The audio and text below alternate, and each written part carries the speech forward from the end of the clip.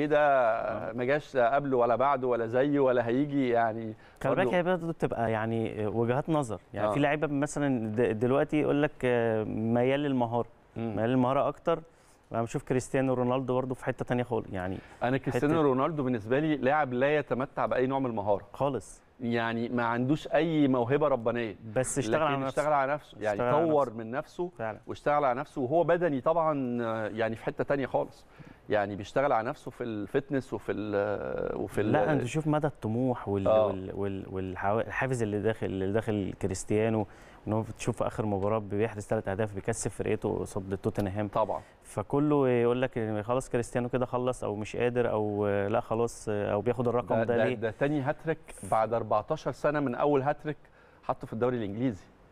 لا هو أرقام آه، آه، أنا زي ما بقول لحضرتك بتتكلم يعني على هاتريك وهو 23 سنة مع مانشستر يونايتد. وهاتريك وهو 37 سنة مع مانشستر يونايتد يعني برضه كتير قوي كتيرة جدا اللي زيه بطل من زمان وقاعد يعني طبعا. آه، لا هنا هنا برضو العقلية يعني هنا المنتاليتي بتاع اللعيب هو بيفكر إزاي هو عايز إيه يعني العقلية وال mentality يقول لك خلاص ده معاه فلوس قد إيه أو مش محتاج للكوره أو أو أو عنده business يعني كريستيانو عنده business كبير جدا آه، ميسي عنده business بتاعه بره آه، صلاح عنده business بتاعه بره بس العقلية وال mentality والدماغ هي هنا قيمتك انت كنجم وكطموحك بلا حدود يعني بلا حدود. كله قال خلاص كريستيانو هيرجع هيبطل في مانشستر لكن بتشوف ان هو بيرجع وبيأدي بالصورة دي وبيقدر يكسب فرقته وبيبقى المميز ويسجل هاتريك في فريق كبير زي توتنهام.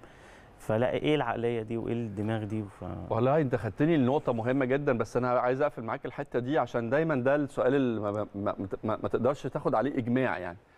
أه لما تكلمني على مثلا موهبة زي زيدان زين الدين زيدان؟ زين الدين زيدان. طبعا. أو زيدان بتاعنا. زيدان يعني بتاعنا. زيدان. بتاعنا أنا بشوفه فلتة الحقيقة. طبعا. يعني واحد وكنت بشوف إنه يعني واحد من الأسماء اللي لازم كانت تعدي محمد صلاح. طبعا. يعني بجد. بس يعني هو عمل مشوار كويس محترم برده مش مش وكان نجم في ألمانيا و- ومع ماينز ومع بروسيا دورتموند ومع يورجن كلوب بشهادة كلوب إن هو كان لعيب مهم. بس أنا بشوفه برده من الأسماء المهمة في الكره المصرية. لكن بتكلم عن زيدان ال- الجزائري الأصل الفرنسي الجنسيه كلامك على موهبة زي رونالدينيو. البرازيلي. طبعا. كلامك على رونالدو الكبير البرازيلي. اللعيبة اللي تحس إنه بصمة. ملوش زي ما جاش زيه كل واحد ليه ستايله اللي ما ما تعرفش.